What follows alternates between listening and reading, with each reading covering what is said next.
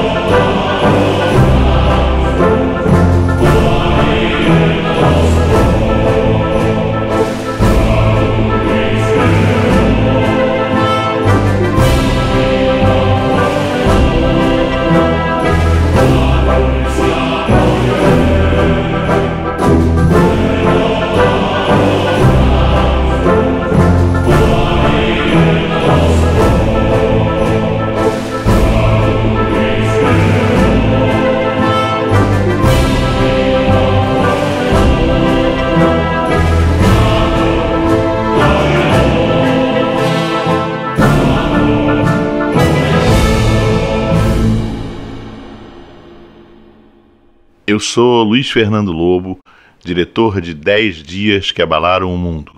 Espero que vocês tenham gostado.